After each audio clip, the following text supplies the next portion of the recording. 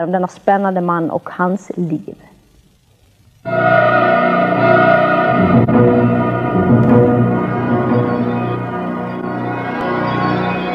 Hello. Ten years ago, Clive Barker was touring his fringe theatre group around Europe in between spells on the dole. Now, he's recognised as one of the leading horror and fantasy writers with titles such as Weaveworld, The Great and Secret Show, and Imajica becoming huge international bestsellers.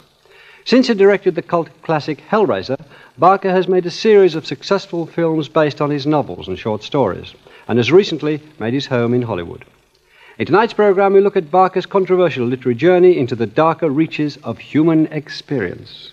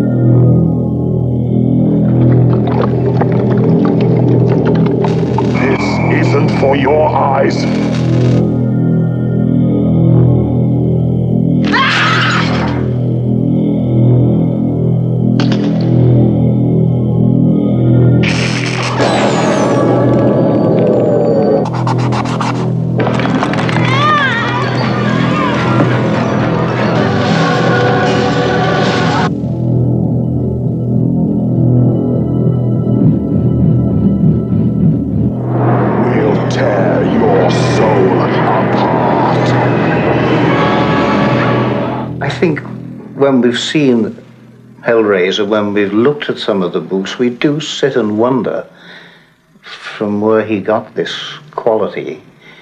Uh, I think we're still at a loss as to know who to blame. um, because it's so alien to both of us. We, we couldn't approach anything No. like that, could we, No in, way. in No way. putting that down on paper? The artist side, I can understand the drawing. Although, once again, his drawing is not the sort of thing that I would want too much hanging on my wall. No. He doesn't get it from me, and I don't think he gets it from his dad somehow.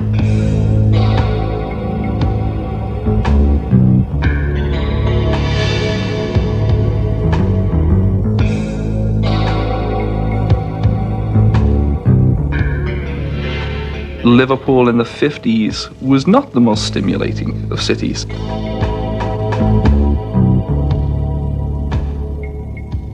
I lived in very conventional, rather reassuring circumstances, but feeling that my imagination was pushing me into areas of, of darkness and anxiety, unease, and also into areas where uh, where those very conventional elements, where those very reassuring elements were just blown away. Doors opened within those environments and things came through those doors. I mean, that was very much what was going on in my imagination.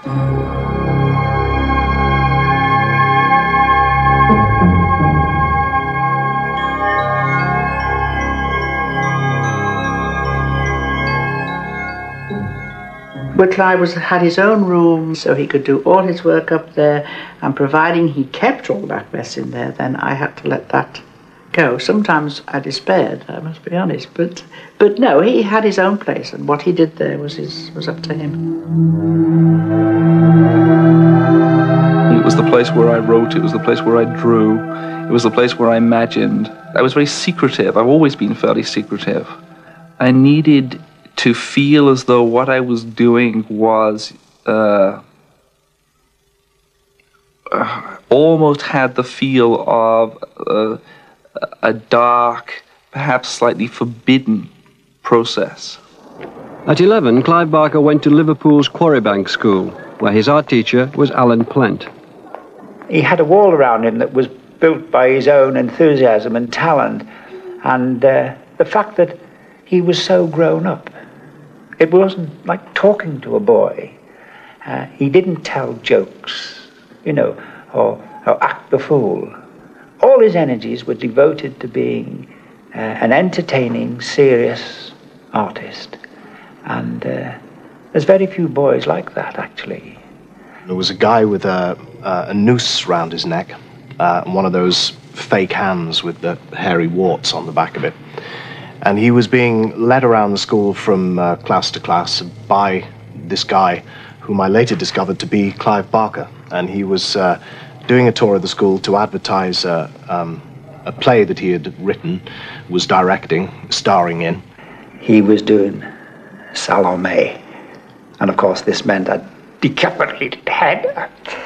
And Clive must have spent a long time making this head. It was absolutely wonderful, and it was as gory as you could possibly get. But it wasn't just the fact that here we have a gory head on a plate.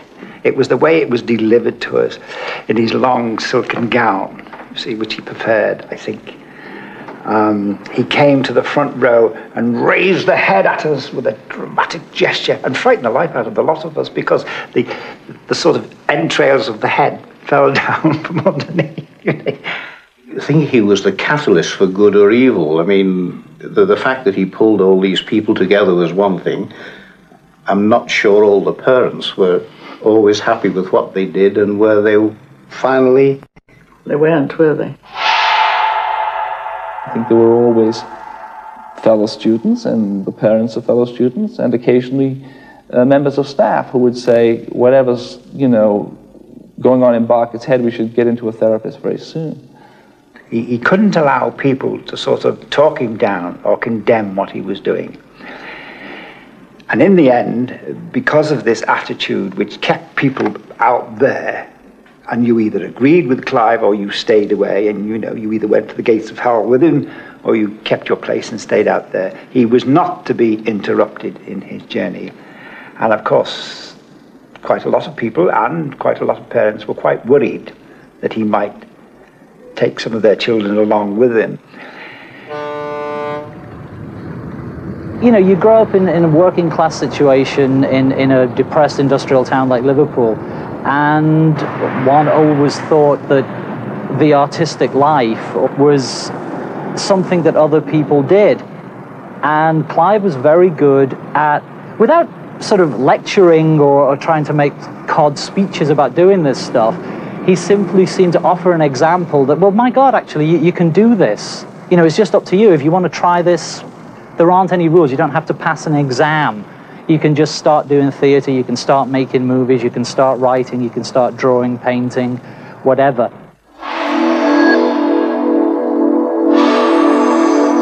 When he was 19, Barker and his friends decided to make an 8mm film based on the story of Salome. We scraped together money, we put the stuff on black and white, the stuff was developed in a bathtub. I mean, it was very, very low grade, if you will, uh, as far as the, the technological uh, aspects of it were concerned, but it was done with passion and it was done with, um, with no rules.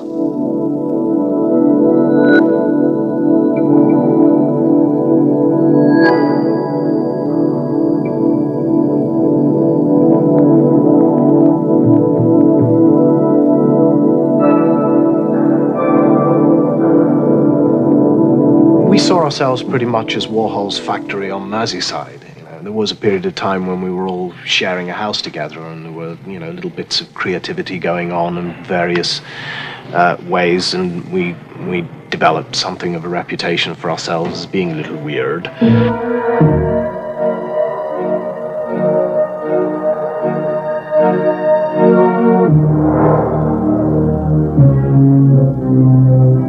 After leaving university, Barker spent the next 10 years on the dole, touring with his fringe theatre group, the Dog Company.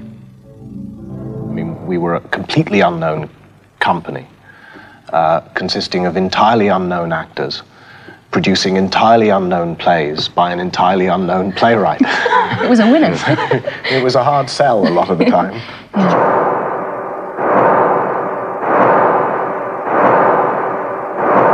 Yeah, when I did Frankenstein, um, I had to get um, cling film on first, cover and body cling cling film. It was an extraordinary creation, actually. It looked brilliant, and that that was the thing that actually um, made people faint up in Edinburgh. I think it was the scariest of the. Certainly in Edinburgh, we hardly did, had to do any publicity. Word of mouth spread round, and the show just was sold out every night. Tomorrow I'll recant. They'll break your fingers. Let them. Tell them a story, like I do. About what? I tell them we eat babies, drink piss. I tell them we watch corpses raped by dogs. We shit on the host. I tell them a goat with a prick of hot iron comes out of the trees and we all kiss its rump by the light of living children buried in excrement up to their necks with their heads on fire. And they believe it. Every word. They cross themselves with every new abomination and thank the Lord for bringing this poor monster into the light of his redemption. I mean, I think we rather naively thought that all we had to do was present this extraordinary work to the public who would go, wow, this is amazing. And when the critics didn't do that, uh, I mean, we would have many a dark morning of the soul poring over these reviews. And, uh, but, but Clive's attitude then was not, what are we doing wrong? Uh, or what was he doing wrong? He would always be asking the question, why aren't they getting it? Why can't they see it?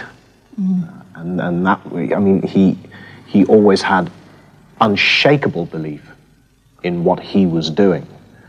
There was a, a great closeness because we had very few um, uh, tools uh, beyond our imaginations. A lot of theory was spoken, a lot of passions were exchanged. There was a lot of anger, a lot of disappointment, a lot of frustration, but there was also uh, a lot of wonderful creativity.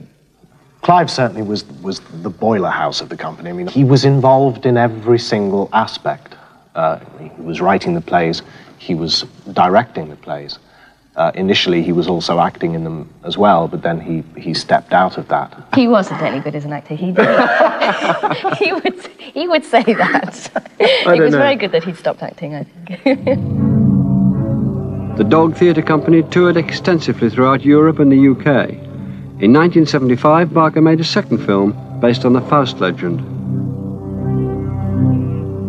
Out of uh, a desire to make this movie on a very, very modest budget, probably in the in the hundreds of pounds, uh, nevertheless evoke the presence of transcendental beings, we decided we'd, we'd shoot the whole thing in negative. Uh, I loved, still love, white shadows and uh, uh, the sense that literally the rules of the world have been inverted. Thank you.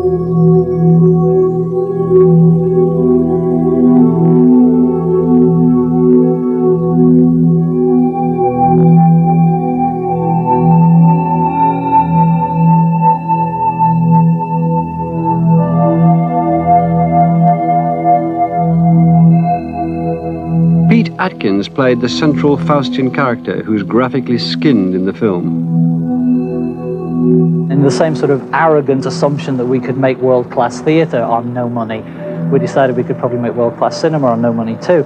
We got 600 quid from um, Merseyside Arts, basically to buy film stock. And we spent a long time trying to make The Forbidden. Um, two years worth of filming, I think.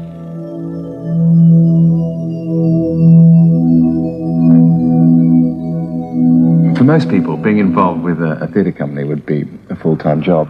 But um, Clive was always involved in something else as well. I mean, he was uh, endlessly being surprised by another batch of short stories, or he'd been painting away at something, or making sculptures of the devil, or whatever it was going to be. my theater agent uh, took, uh, I think, five short stories uh, which I had written for my own entertainment. I mean, they were dark, strange little tales, and I, I don't know really even if I'd even thought they were fit for public consumption. I knew they were fit for the consumption of my friends, but I don't, don't think I was really, I don't think I ever thought, well, I shall publish these. But when Barker did publish the first of his short stories in 1984, they were an immediate success. The Books of Blood, as they were called, eventually ran to six volumes. Perhaps they would remember her, as he had said they might, finding her cracked skull in tomorrow's ashes. Perhaps she might become in time a story with which to frighten children. She had lied, saying she leapt. The circling undertow snatched at him immediately. He barely had time to draw breath before he was sucked beneath the surface and dragged round and round, down and down. He felt himself buffeted against on the lower bunk, lay a dark, wretched shape still solidifying as Cleve watched, knitting itself together from the shadows. There was something of a rabid fox in its incandescent eyes, in its arsenal of needle teeth, something of an upturned insect, her features dissolved, becoming the red sea he dreamt of, and washing up over his face that was itself dissolving, common waters of thought and bone. One of those stories, Rawhead Rex, was made into a film, Ugh. which you didn't like. Ugh. And so, was, was it a result of that that you made the film Hellraiser? I was appalled by the film stuff that had come previous to Hellraiser. Right? There's a movie called uh, Under Underworld. I can barely get the word out, you see, and and Rawhead Rex, and I disliked both of them fiercely.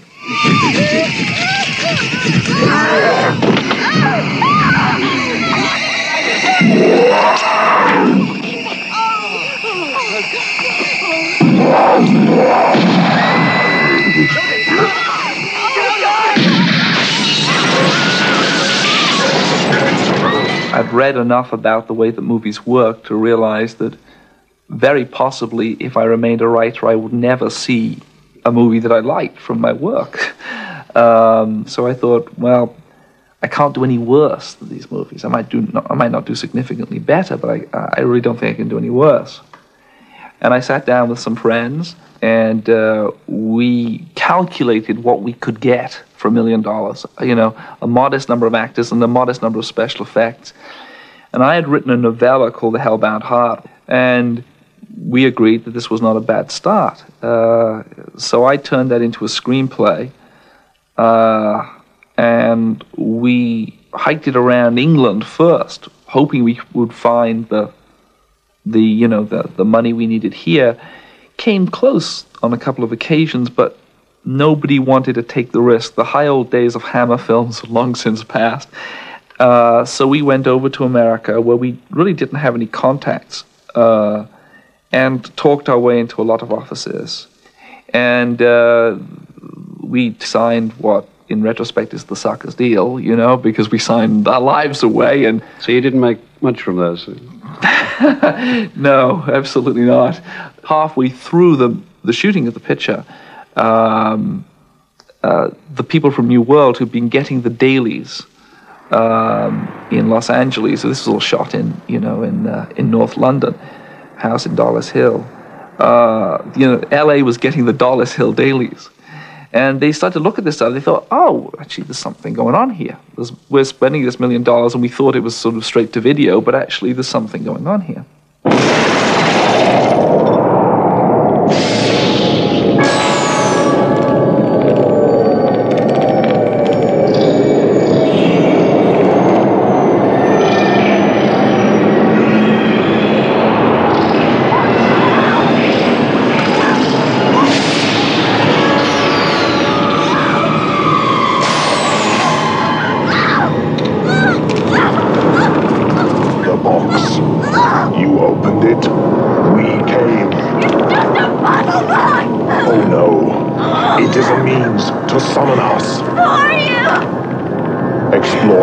In the further regions of experience.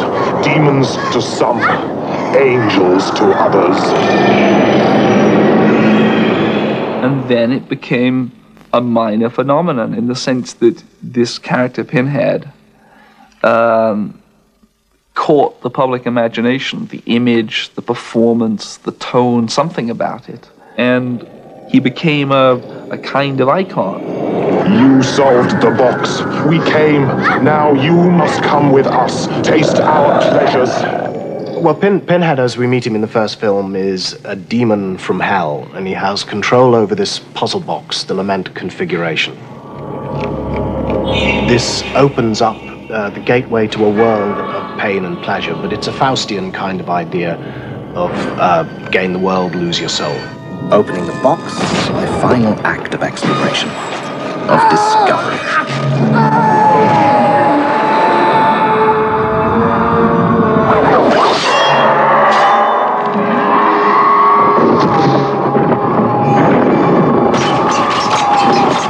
I found the monster within the box.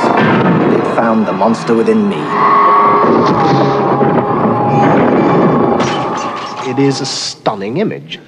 There would be a way of presenting this image, which is basically a guy with a lot of nails banged into his head, that would just be a bloody mess and would be a visual turn-off. And you would just go, oh, I, I don't want to see that. The reaction I always get from people the first time they see me with the makeup on is they go, wow. Jesus Christ! Not quite. It's hard to look back now and realize the impact that Hellraiser had at the time. My own responses to the scene in which Frank emerged from the floorboards, or the first scene in which the Cenobites appear, were ones of complete dread. And I think that this was something that hadn't been seen before, literally. And I think this is part of Barker's project. It is a sense in getting away from the old notion that what is implied is much more powerful than what is seen. He clearly is looking for the revelation response here. He wants you to see those big moments. He doesn't want them happening off screen. He wants them to be center stage like a Grand Guignol spectacle.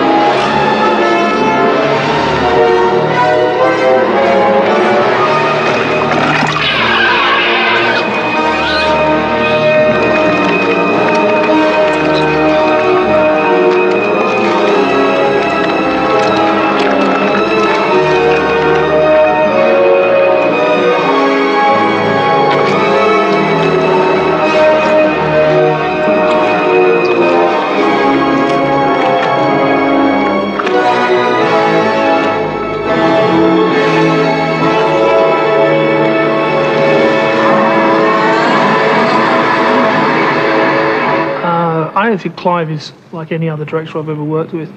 There's uh, he's got a vision that's clear. He's, he grabs onto an idea, and he knows what he wants. When we first met on Hellraiser One, we went for the most fluid, disgusting stuff we could come up with, and that was great. Um, we used a lot of animation in there, reverse animation, so we were destroying the creature.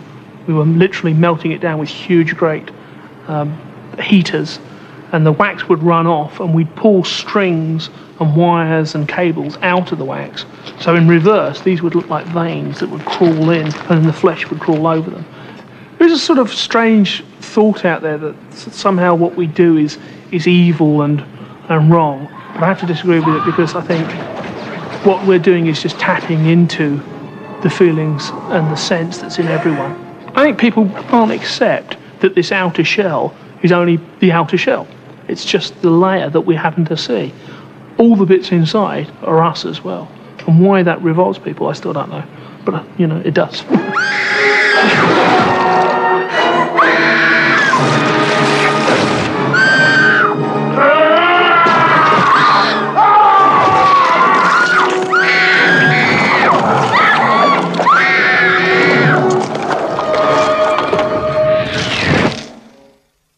The fishhooks, I think, is one of the most sort of shocking of images from the film.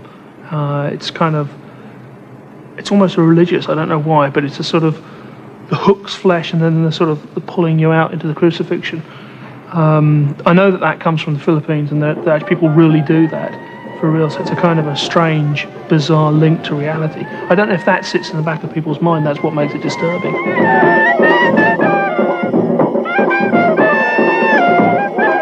I've never been terribly interested in going to a movie and coming out and saying, hmm, you know, uh, let's go get a pizza. I mean, I want to feel something, and and I don't mind if that feeling once in a while, not all the time, but once in a while, is one of disgust.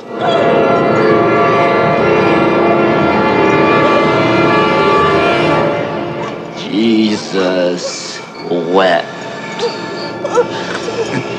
It's as vital to have access to the darkness as it is to the images of transcendence. And I think one of the things that we do in our culture is marginalize the stuff we don't really want to know about. Uh, and by doing that, curiously, maybe empower it in a bad way so that it erupts in strange fashions.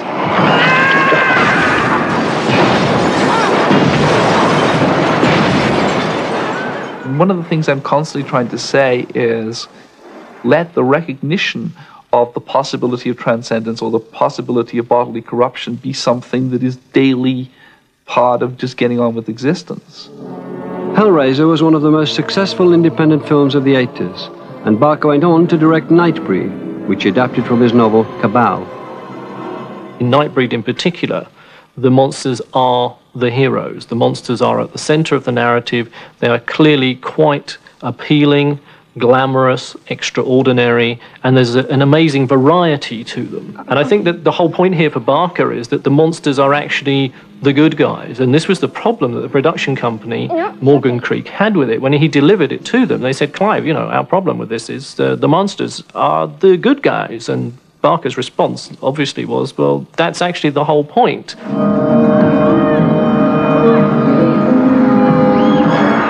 Clive's basic idea for Nightbreed was he wanted to create a world of monsters. All the way through the shoot, we'd still come up with creatures, and we'd invent creatures and create creatures. I think we created like 300 creatures in the end. It was a very interesting process to make that many and still keep coming up with the ideas. A lot of the time, you can build things that just aren't going to make it onto the screen. And I'm afraid this little friend here is an example. And rightly, I think Clive decided that this was too much. Um, there are limits, and this is probably one of them.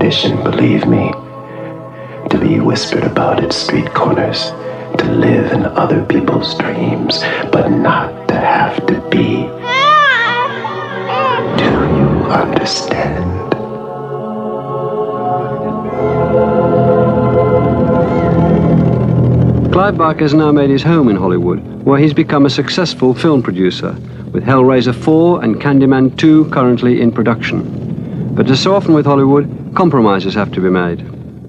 Thief of Always, the children's book I did last year, we're doing as an animated feature for for uh, Paramount. Now, particularly in the area of animation, your control as a producer is minuscule. I mean, I've written the screenplay, but somebody somewhere else is going to be doing the drawings. I mean, you you you can't even have a hand in the casting. I was comparing Owl Lulu for the animated uh, series.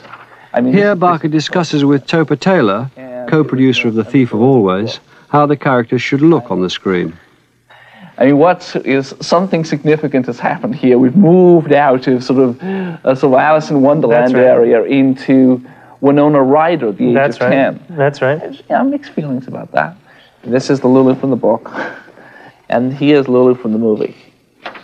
I mean, this, she's she looks like Cher here. Something like this is uh, perhaps a little more accessible to a mainstream audience. I think the book design is uh, slightly inaccessible to uh, some people. To a modern American audience of nine-year-olds. Yeah, that's right. Not only not only nine-year-olds, but perhaps to their parents or to the religious right, etc. Do you think they're?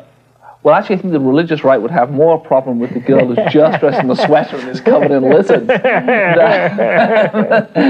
Perhaps you're right. It's important to have the darkness as long as there's light at the end of the tunnel. And I think what's being lost in the debate at the moment is that you you can't scrub the picture completely clean. You can't make it all saccharine because if you do, you start to lie to kids.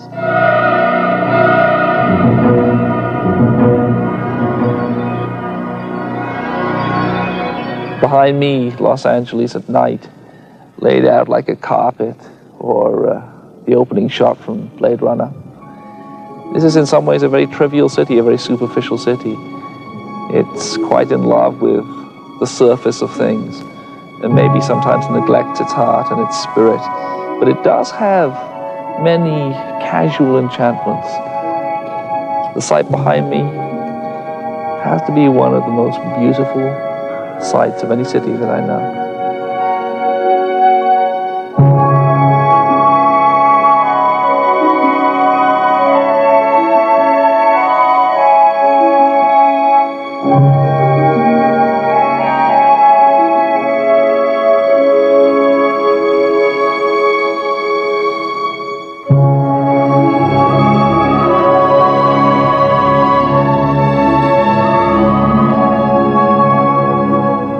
LA has many strange responses to the business of the flesh.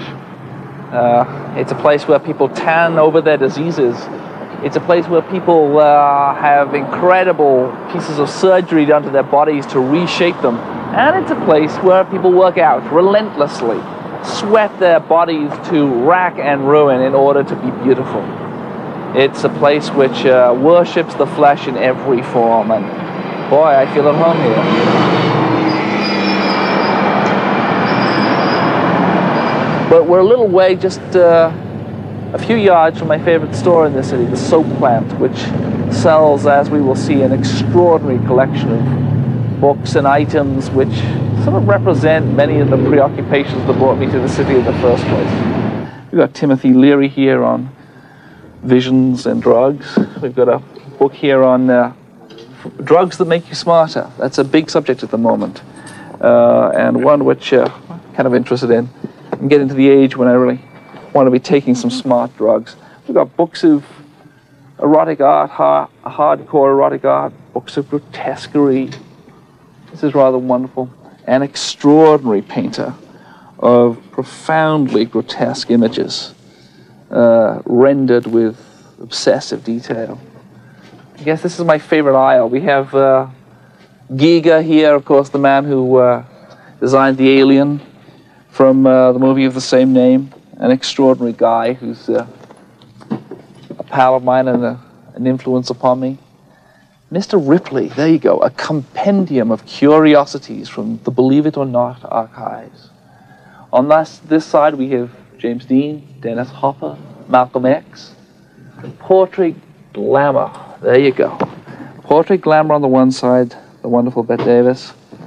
And on the other, some uh, Joel Peter Witkin. I don't know how familiar people are with uh, Mr. Witkin's images, but magnificently dark and depraved images. This is a city which seems to thrive on contrasts, thrive on horrors and beauty side by side. Sometimes walking through the city is like walking through a Fellini movie. This is an environment I suppose I've always dreamed about having. Uh, this wing of the house I had built for, for this purpose. Uh, I have never had as comfortable a place to write as this, never been as happy in a writing environment as I am here. Uh, but I suppose it's taken 25 years to, to get to this.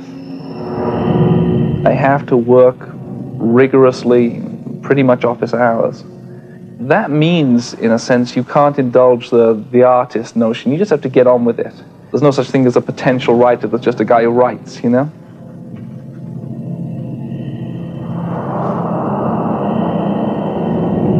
The moment, I'm working on a 600, 700 page novel, Everville. And uh, that means that I, I am very structured, very rigorous, and won't even read back over what I've written until I get to the end of each draft. I'll write three handwritten drafts usually, which in the case of Everville here will be um, 9,000 handwritten pages, I suppose, something in that region. I keep a notebook beside the bed, so I keep a what roughly might be called a dream journal. So dreams are very important, and so are daydreams. I mean, you know, in a sense, what am I doing for 10 hours a day when I'm writing a novel, but, you know, dreaming with my eyes open? I mean, that's the whole business of, of, of, of writing this kind of material, I think, is that you are plunging into, um, plunging down through layers of your consciousness into hopefully fairly primal areas. Looking back, was there some sort of pattern to your indis- to your reading, to your voluntary reading when you were? I think there was, and I think a lot of it was based upon. I don't think I grasped a lot of what I was reading. I grasped the, the, the parts that I needed, if you will. And I suppose Blake was a revelation because here was talk of Camden Town and Marylebone and angels and demons all in the same sentence. Mm. And What attracted you about that juxtaposition? It was the juxtaposition that attra- It sort was- of again a sort of parallel world. There it is. Angels hovering and Well, it isn't even a parallel The world. London in streets him. going- Yes, he's, he's not even saying it's two worlds. No. He's saying it's just one One world. world, yeah. And and that was the revelation to me that previously I'd lived, if you will, the sort of C.S. Lewis vision, which is that you open the wardrobe and you step through the wardrobe and Narnia's on the other side. What Blake says is Narnia's here. What Blake says is the, the metaphysical life, the life of angels and demons, occupies the same streets that we are walking and breathing and living in. The other thing, of course, to say is that, that at the same time, you start to realize that with Wells, with Shelley, uh, Mary now, Mary uh, with Stoker, with Stevenson, with Tolkien, with C.S. Lewis, that many of the great works of fantasy, science fiction, horror fiction uh, were written, you know, by by Brits. And I, I suppose it wasn't until I got to university that I realized how condescending people could be about this kind of fiction. Uh, just because we turn 16 and become embarrassed by asking the questions doesn't mean we don't still continue to say, Why am I here? Who put me here? What's it worth? Is there a God? All of those questions, uh, which remain every bit as legitimate at the age of 41 as they did when I ceased asking them out of embarrassment when I went to university, because I suppose the vocabulary, you know, I, I studied philosophy at university for a period, and linguistic philosophy was still very much a, a legitimate source of, of, of, of endeavor. And I really wasn't interested in that. I wasn't interested in studying semantics as a means to, to knowing why I was on the planet.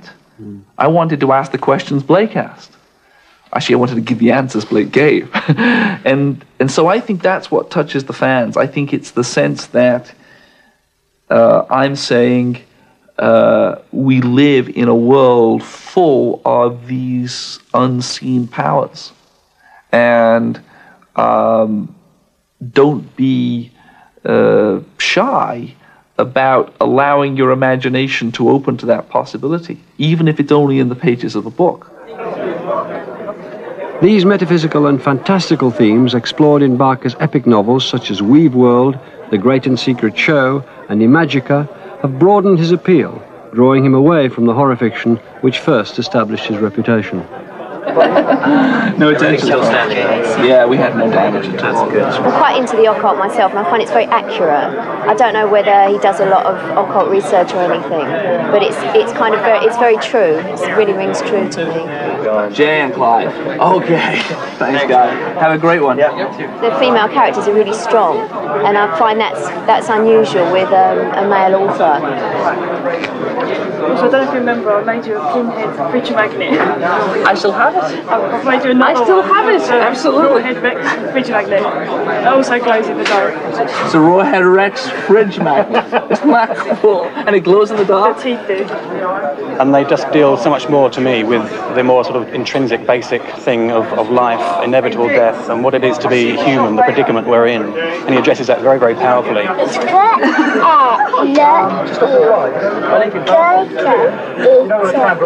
Felis. Felicity. Felicity. We got it.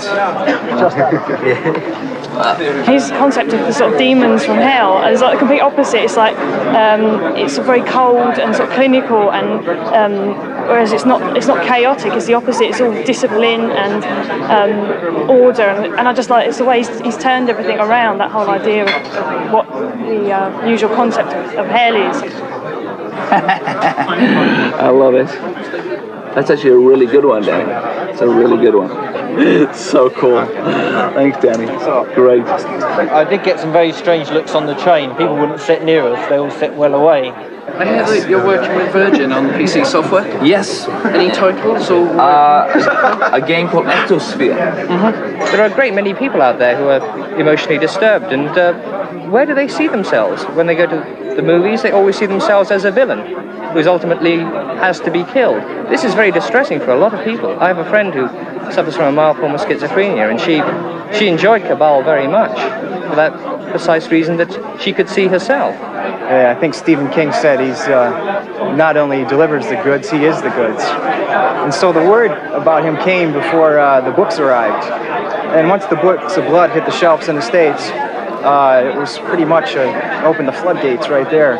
I mean, it was, wow, this guy is great. You've got to read Clive Barker. Are there any generalizations you can give us about what strikes the people who become fanatical about your work? I'm using the vocabulary of religion. I'm using uh, good, evil, damnation, transcendence, uh, heaven and hell, and all its occupants, and saying this is the world in which we we live, or this is the world in which my characters live, and therefore, because the world that I'm describing, the world in which those characters are found at the beginning of those books, is very similar to the world that you, the reader, are occupying, then these possibilities, good and bad, are just, just around the corner from you. I don't see a gate, Harvey said. That's because there isn't one. So how do we get in? Just keep walking. Half out of hunger, half out of curiosity, Harvey did as Rictus had instructed. And as he came within three steps of the wall, a gust of balmy, flower scented wind slipped between the shimmering stones and kissed his cheek. Its warmth was welcome after his long, cold trek, and he picked up his pace, reaching out to touch the wall as he approached it. The misty stones seemed to reach for him in their turn, wrapping their soft, gray arms around his shoulders and ushering him through the wall. And ahead of him, set at the summit of a great slope, was a house that had surely first been imagined in a dream. In Weaveworld and Imajica and Thief of Always, and in a lot of your books, there's the, the business of um, going through doors, going through walls, going into worlds which exist alongside, dominions they're sometimes called. It nearly always happens that when they go through these doors, they go through this world, they go to a sort of higher level of feeling, thinking, experiencing. Where does that come from? I think it comes from the experience of the imagination. I mean, I think that uh,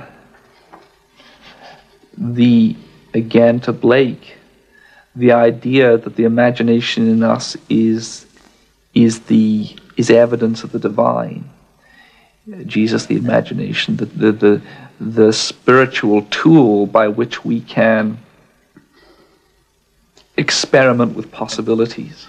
I think that the uh, the kind of fiction I'm writing is metaphysical fiction. That is, it deals constantly with how it might be if our flesh was slightly different, how it might be if our spirits manifested themselves physically, how it might be if our bodies uh, and our minds were totally separated. That happens quite a lot. The mind takes a journey in the books, very often separated from the body. Uh, the body is constantly transforming in the books. I mean, flesh in my fiction is protean. It sprouts, it bulges, it it it it uh, Maidens change into dragons and dragons. change- Exactly. And in a way, that's a nice image of what I'm trying to say that our imaginations are constantly transforming us uh, in our dream lives and even in our waking lives. I mean, in our relation to what we see in the mirror, in our relation to what we choose to wear, in the relationship to the way we present ourselves to the world. It's a game of illusions. And uh, we kid ourselves in, all the time about who we are, what we are, what we seem to be.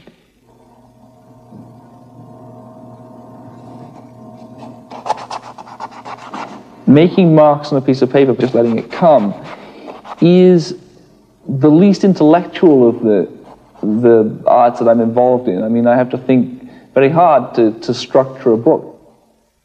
This stuff is very immediate, you know. It plugs into stuff which is uh, pretty deeply rooted in my psyche, so deeply in sense that some of these characters have been appearing on pieces of paper now for maybe 30 years in various incarnations. I think the thing that surprises me occasionally is how familiar I am with things which would normally fall under the, under the heading of subconscious material. I think uh, the wall, which is quite um, uh, strong and quite implacable in most people, between the subconscious and the conscious, in me is is you know has got large holes in it. I think there's toings and froings constantly, and I only ever really basically paint human beings, and I usually paint people in some transformed state or other. Either they're on their way to being transformed or they are transformed. Uh, those subjects never lose their power to arouse us and distress us because the ongoing drama of the body is one that we meet in the mirror every morning. The oil paintings on this scale, at least, are a new departure for me. Uh, the last 18 months, maybe, I've been making paintings this large and on occasion a little larger um, and exhibiting them in New York and Los Angeles. The pleasure for me, or one of the pleasures of making paintings, is that they are absolutely beyond the word. And I work so much with words, and I enjoy working with words. Uh, but it's a great pleasure to be liberated into a place where the word has no dominion. The most often asked question is, what, what kind of drugs do you use to do this stuff? And uh, I don't. I don't think I would be particularly empowered by the drug experience. Uh, I'm actually rather fearful of it. Um, uh, I suppose I'm a control freak when it comes to my imagination, and I, uh, I'm deeply suspicious of the guy who says, "Oh, well, I have to get drunk to write," or you know, I only see visions when I'm when I've eaten mushrooms.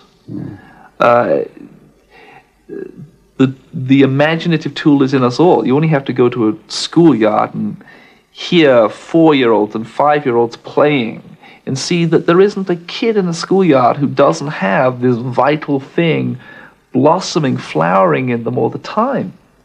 What happens is that we get educated. And there's a lot of good things about education, but one of the bad things is that that the capitalist system is preparing us for uh, a 40 hour week in which our imaginations must not be overstimulated. What, what effect do you think you're having on readers? Do you think imagination can really transform people's lives? And if so, in what way? You can only go from your own experience. My life has absolutely been transformed by the imaginative possibilities offered to me by artists. Isn't that one of the reasons why we go to books and paintings and, and theater and movies? We go because we want our lives enriched, and that enrichment is a kind of change. Uh, we want our pain illuminated, and if it's illuminated, maybe it isn't quite so terrible. I think my kind of fiction, and I get this in, in, in conversations with people and in letters, is, is to some extent about saying these journeys are journeys which, which we're all taking. And it's okay to take them. And it doesn't mean you're crazy. It doesn't mean you're marginalized. Uh, just because you're bringing your dreamscape into your daily life, into your conscious life, doesn't make you fit for the madhouse. Actually, it makes you very healthy. If I thought it was just a, a, throwaway, disposable form of, of entertainment and was was going to distract people and then be forgotten, I would not be motivated to do it at all. I think I prefer to go and herd sheep.